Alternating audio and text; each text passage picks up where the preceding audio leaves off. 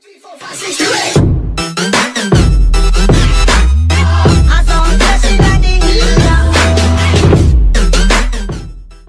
how's it going guys? Flarp here back with another video. Today I'm going to be telling you guys how to rank up fast in Counter-Strike Global Offensive competitive matchmaking. So, with that being said, let's get right into the video.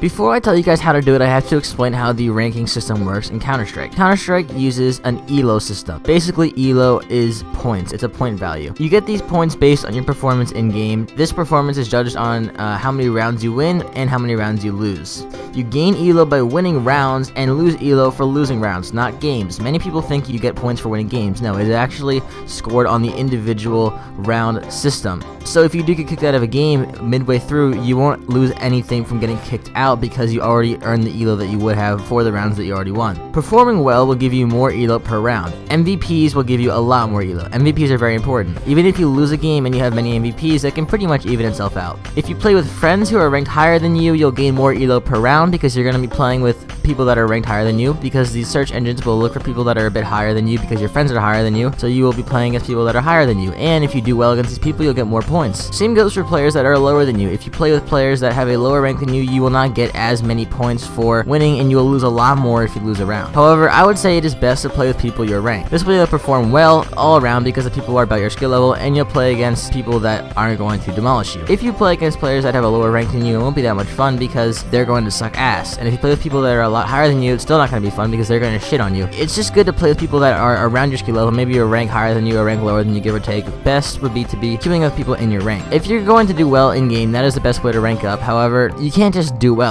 It doesn't come automatically. If you guys would like to see a video regarding tips and tricks on how to get better at CSGO competitive, I actually have a video on my channel about that, which will be on screen now.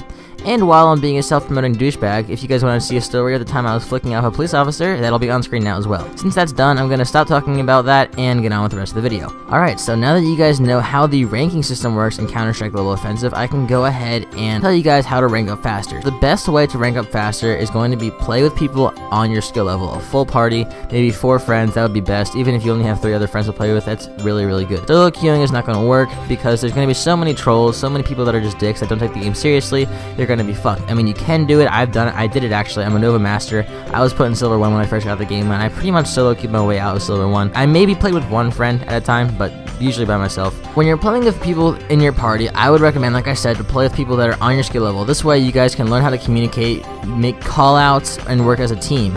This will be a lot more fun, and you'll get better at the game while you're playing. In the video I linked on screen, one of my biggest tips was to just practice, because you'll learn the game by practicing. As you play, you'll learn the callouts, you will get familiar with the maps, you'll learn the, the spray pattern uh, and how to control the spray. Um, you'll, you'll, learn how to be coordinated, work as a team. You'll know how to set up a proper defense on uh, CT side, how to execute bomb site takes on T side, and you'll just learn the game uh, very, very well. So, that's how the ranking system works. That's how you get ranked up faster. I hope you guys enjoyed the video. Until next time, never stop flarping.